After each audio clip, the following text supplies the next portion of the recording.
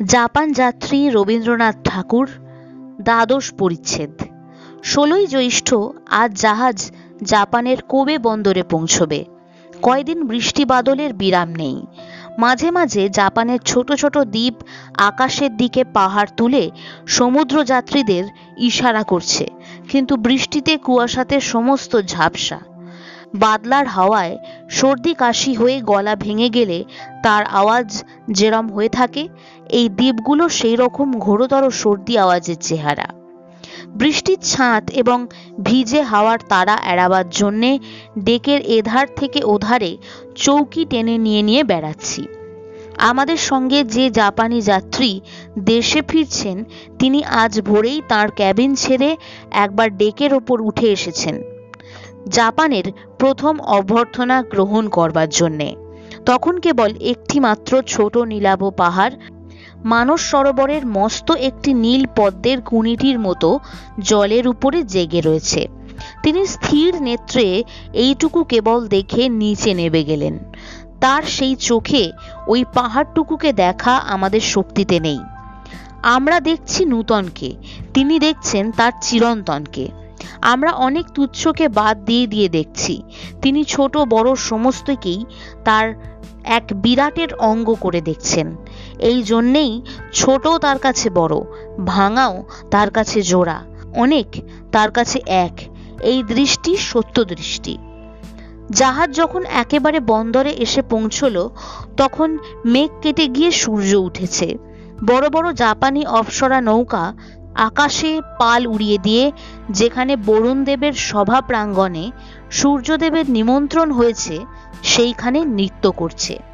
প্রকৃতির নাট্যমঞ্চে বাদলার জবনিকা উঠে গিয়েছে। ভাবলুম, এইবার ডেকের উপরে রাজার হালে বসে সমুদ্রের তীরে জাপানের প্রথম প্রবেশটা ভালো করে দেখে নি কিন্তু সে কি হবাজ্য আছে? নিজের নামের উপমা গ্রহণ করতে যদি কোনো অপরাধ না থাকে তাহলে বলি, আমার আকাশের মিতা যখন খালাস পেয়েছেন তখন আমার পালা আরম্ভ হলো। আমার চারিদিকে একটু কোথাও ফাঁক দেখতে পেলুম না। খবরের কাগজের চর, তাদের প্রশ্ন এবং তাদের ক্যামেরা নিয়ে আমাকে আচ্ছন্ন করে দিলে। কোবে শহরে অনেকগুলি ভারতবর্ষীয় বণিক আছেন। তার মধ্যে বাঙালির ছিটে ফোটাও কিছু পাওয়া যায়। আমি হংকং শহরে পৌঁছেই এই ভারতবাসীদের টেলিগ্রাম পেয়েছিলুম। তারাই আমার আতিথ্যের ব্যবস্থা করেছেন। তারা জাহাজে গিয়ে আমাকে ধরলেন। ওদিকে জাপানের বিখ্যাত চিত্রকর টাইকন এসে উপস্থিত। ইনি যখন ভারতবর্ষে গিয়েছিলেন, আমাদের বাড়িতে ছিলেন। কার্টসটাকেও দেখা গেল। ইনিও আমাদের চিত্রকর বন্ধু। সেই সঙ্গে সানও এসে উপস্থিত। ইনি এককালে আমাদের শান্তিনিকেতন আশ্রমে জুজুৎসু ব্যায়ামের শিক্ষক ছিলেন। এর মধ্যে কাওয়াগুচিরও দর্শন পাওয়া গেল। এটা বেশ স্পষ্ট বুঝতে পারলুম আমাদের নিজেদের ভাবনা আর ভাবতে হবে না। কিন্তু দেখতে পেলুম, সেই ভাবনার ভার অনেকে মিলে যখন গ্রহণ করেন, তখন ভাবনার অন্ত থাকে না। আমাদের প্রয়োজন অল্প, কিন্তু আয়োজন তার চেয়ে অনেক বেশি হয়ে উঠল। জাপানি পক্ষ থেকে তাদের ঘরে নিয়ে যাবার জন্যে আমাকে টানাটানি করতে লাগলেন, কিন্তু ভারতবর্ষীর আমন্ত্রণ আমি পূর্বেই গ্রহণ করেছি। এই নিয়ে বিষম একটা সংকট উপস্থিত হলো। কোনো পক্ষই হার মানতে চায় না। বাঘ বিতণ্ডা বচসা চলতে লাগল। আবার এরই সঙ্গে সঙ্গে সেই খবরের কাগজের চরের দল আমার চারিদিকে পাক খেয়ে বেড়াতে লাগল। দেশ ছাড়বার মুখে বঙ্গোপসাগরে পেয়েছিলুম বাতাসের সাইক্লোন। এখানে জাপানের ঘাটে এসে পৌঁছেই পেলুম মানুষের সাইক্লোন।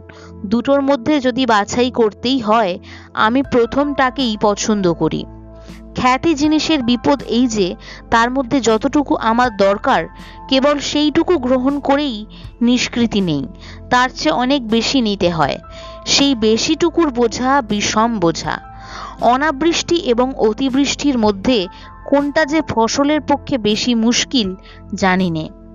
এখানকার একজন প্রধান গুজরাটি বণিক মোরারজি, তাঁরই বাড়িতে আশ্রয় পেয়েছি। সেই সব খবরের কাগজের অনুচররা এখানে এসে উপস্থিত। এই উৎপাতটা আশা করিনি। জাপান যে নতুন মদ পান করেছে, এই খবর কাগজের ফেনিলতা তারই একটা অঙ্গ। এত ফেনা আমেরিকাতেও দেখিনি। এই জিনিসটা কেবলমাত্র কথার হাওয়ার বুদবুদ পুঞ্জ। এতে কারও সত্যকার প্রয়োজনও দেখিনি। আমোদও বুঝিনে এতে কেবলমাত্র পাত্রটার মাথা শূন্যতায় ভর্তি করে দেয়। মাদকতার ছবিটাকে কেবল চোখের সামনে প্রকাশ করে। এই মাতলামিটাই আমাকে সবচেয়ে বেশি পীড়া দেয়। যাগ্গে মোরারজির বাড়িতে আহারে আলাপে অভ্যর্থনায় কাল রাত্রিটা কেটেছে। এখানকার ঘরকন্যার মধ্যে প্রবেশ করে সবচেয়ে চোখে পড়ে জাপানি দাসী। মাথায় একখানা ফুলে ওঠা খোঁপা, গাল দুটো ফুলো ফুলো, চোখ দুটো ছোট, নাকের একটুখানি অপ্রতুলতা কাপড় বেশ সুন্দর, পায়ে খড়ের চটি। কবিরা সৌন্দর্যের যেরকম বর্ণনা করে থাকেন, তার সঙ্গে অনৈক্য ঢের, কিন্তু মোটের উপর দেখতে ভালো লাগে। যেন মানুষের সঙ্গে, পুতুলের সঙ্গে, মাংসের সঙ্গে, মোমের সঙ্গে মিশিয়ে একটা পদার্থ। আর সমস্ত শরীরে ক্ষিপ্রতা, নৈপুণ্য, বলিষ্ঠতা। গৃহস্বামী বলেন, এরা যেমন কাজের, তেমনি এরা পরিষ্কার পরিচ্ছন্ন আমি আমার অভ্যাসবশত ভোরে উঠে জানলার বাইরে চেয়ে দেখলুম, প্রতিবেশীদের বাড়িতে ঘরকন্যার হিল্লোল তখন জাগতে আরম্ভ করেছে। সেই হিল্লোল মেয়েদের হিল্লোল।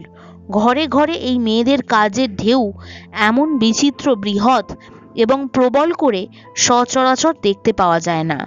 কিন্তু এটা দেখলেই বোঝা যায়, এমন স্বাভাবিক আর কিচ্ছু নেই। দেহযাত্রা জিনিসটার ভার আদি থেকে অন্ত পর্যন্ত মেয়েদেরই হাতে। এই দেহযাত্রার আয়োজন, উদ্যোগ মেয়েদের পক্ষে স্বাভাবিক এবং সুন্দর। কাজের এই নিয়ত তৎপরতায় মেয়েদের স্বভাব যথার্থ মুক্তি পায় বলে শ্রী লাভ করে। বিলাসের জড়তায় কিংবা যে কারণেই হোক, মেয়েরা যেখানে এই কর্মপরতা থেকে বঞ্চিত, সেখানে তাদের বিকার উপস্থিত হয়। তাদের দেহ মনের সৌন্দর্য হানি হতে থাকে এবং তাদের যথার্থ আনন্দের ব্যাঘাত ঘটে।